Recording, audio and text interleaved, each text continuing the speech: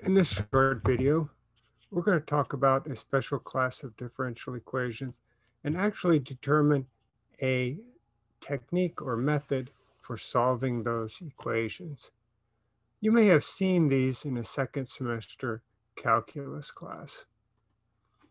So if we have a differential equation that looks like dy dx is the product of two function, one function only depends on x and the other function only depends on y.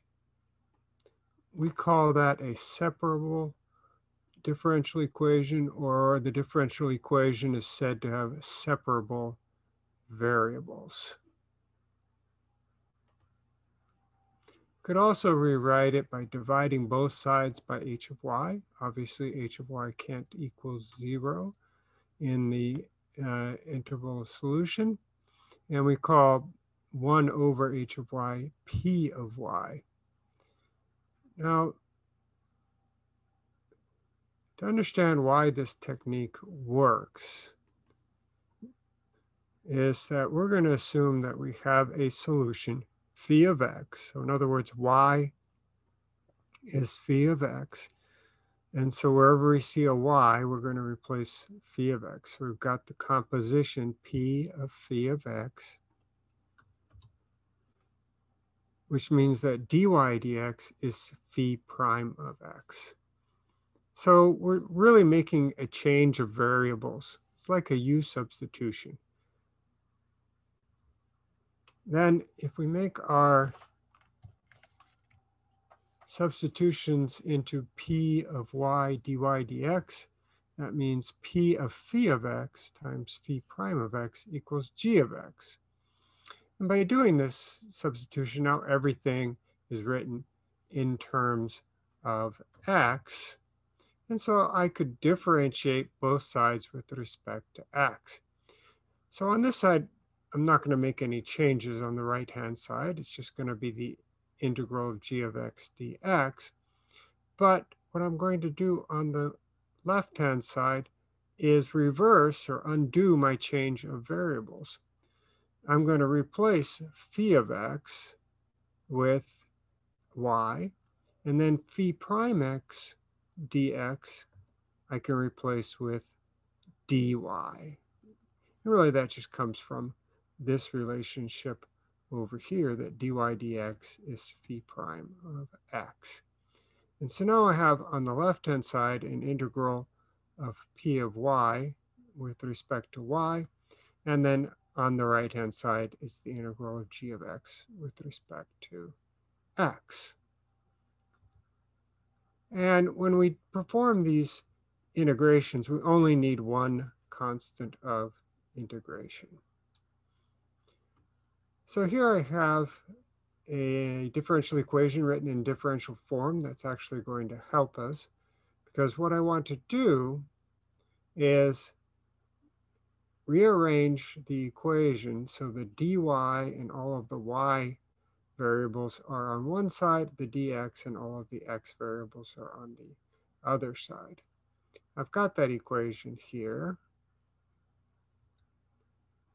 And now I'm going to integrate both sides. I'm going to integrate the left-hand side with respect to y and the right-hand side with respect to x. So the antiderivative of 1 over y is the natural log of absolute y. The antiderivative of dx over 2 plus x is the natural log of the absolute value of 2 plus x. And then I add on a single constant of integration. I'd like to solve this for y. So I exponentiate both sides. So I'll get just the absolute value of y. And then e raised to the entire right-hand side. Now I can use the properties of exponents and rewrite this as e to the power of c1 times e to the natural log of the absolute value of 2x. So to remove the absolute value signs, I need the plus or minus. Then I can say e to the natural log of absolute value 2 plus x is just going to be 2 plus x. And then this plus or minus e to the power of c1 I'll just replace that with a single constant, c. Let's look at another example. Here we have an initial value problem. The differential equation is dy dx equals negative x over y. And the initial condition is that y of negative 5 is going to equal 12. So this gives me y dy equals negative x, should be dx, I apologize. Quick change here.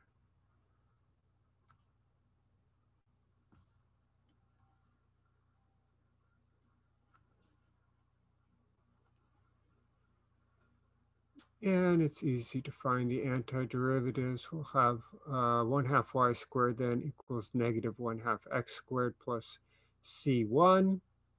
I will multiply through by 2 and gather x squared and y squared on the left-hand side. That means it'll equal 2c1.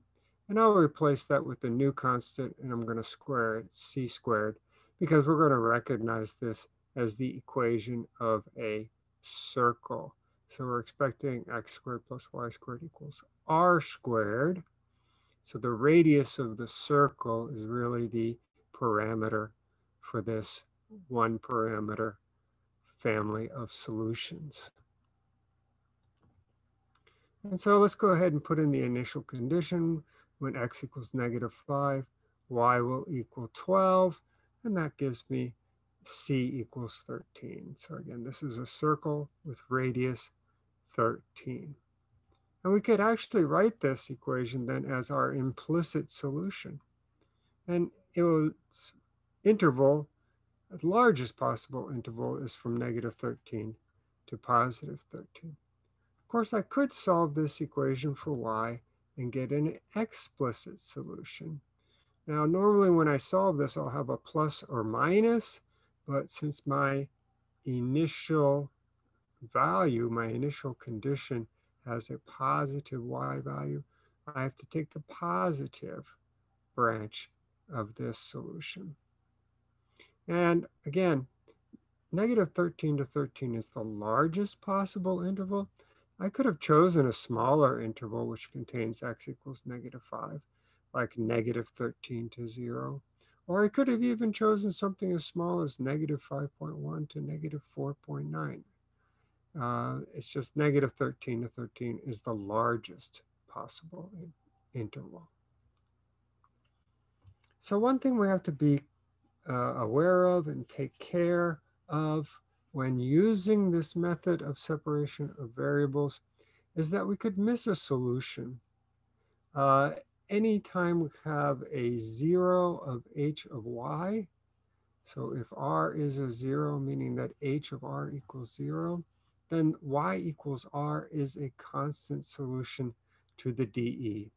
This should remind us of autonomous differential equations. We had a very similar situation where any of the uh, critical points there led to a constant solution. And we might miss this. We have to think about it when we're solving it. Let's look at uh, an example. So we're going to solve this. We're going to use separation of variables. So I'm going to have to integrate dy over y squared minus 4. Obviously, integrating dx is no challenge. This one is not that hard. We just have to remember the method of partial fractions. And so I'm going to factor y squared minus 4 as y plus 2 times y minus 2. And so that means I can decompose that as some constant a over y plus 2 plus a different constant b over y minus 2. The way we find a and b is we multiply through by the least common denominator, which is y plus 2 times y minus 1. That gives us this equation. And then by looking at the coefficients, all of the y coefficients on the left-hand side and the right-hand side have to be equal to each other. That's how I get 0 equals a plus b. And the constants have to be equal to each other. So um, 1 has to equal negative 2a plus 2b. So we get a little system of equations. We solve that for a and b. We find that a is negative 1 fourth, b is 1 fourth. So now our integral is broken up into two integrals. And so for the first one, I'll have uh, the negative 1 fourth natural log of the absolute value of y over 2. And the second one, I'll get 1 fourth natural log absolute value of y minus 2. I'll use the properties of logs to write that as a single log. So I'll have uh, y minus 2 on the top, y plus 2, all in absolute values. Still have the constant multiplier of 1 fourth in front. So we're not done yet. Let's go to the next slide. So uh, we found that the 1 fourth natural log absolute value of y minus 2 over y plus 2, that was the antiderivative of dy over y squared minus 4. The antiderivative of uh, integral dx is just x plus a constant. I'm calling it C1 because I'm going to multiply through by 4, so I'll have 4x plus a different constant c2. Uh, then I want to uh, exponentiate both sides. Because I have the absolute value here, I'll get the plus or minus. I'll use the properties of exponents, and I'll write e to the 4x plus c2 as e to the c2 times e to the 4x. So this plus or minus e to the c2. I'll just rename that as plain old c. And then I'm going to do uh, some algebra because I want to solve this for y. So first multiply through by y plus 2. Get all the y terms on one side, all the other terms on the other. Here we need to factor out y. Here it turns out that there's a common factor of negative 2. We don't have to factor it out. It just makes the solution a little bit easier to read. And we do some final algebra to get rid of the negative sign. Instead of having c e to the 4x minus 1, we have 1 minus c e to the 4x. And so that is our solution. It's a one parameter family of solutions. And if we look at this differential equation, this is an autonomous differential equation.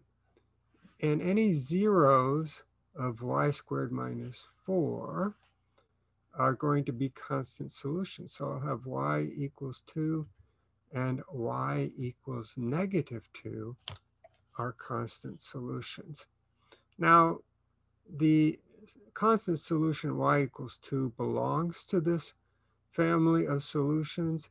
If we just put c equal to 0, I'll get y equals 2 as a solution. But there's no constant uh, which will give us the constant solution y equals negative 2. So no value of c could result in the solution y equals negative 2. And so remember, that's called a singular solution. So we need to look out for those. One final note is that even if we have a very simple differential equation, so dy dx equals g of x, with the initial condition y of x naught is y naught, uh, we may not be able to find an antiderivative of g of x in terms of elementary functions, meaning that there is no antiderivative in terms of polynomials, rationals, radical functions, trig functions, exponential or log functions. So we could try to find a power series solution, or we may be able to just use an integral defined function. And so in this case, if we have continuity for g of x, then uh, we can just write the solution in this form.